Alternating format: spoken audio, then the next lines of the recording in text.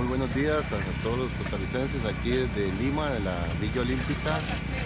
bueno, primero que nada comentarles que la villa está muy bonita, es una villa bastante compacta, pero con muy buenas este, instalaciones. De momento tenemos una excelente impresión de cómo, está, cómo ha trabajado el comité organizador. Eh, ya en ese momento eh, entraron ayer en la noche eh, las primeras delegaciones deportivas, entró boliche, entró voleibol playa y también gimnasia junto con el equipo de, apoyo o staff del Comité Olímpico Nacional.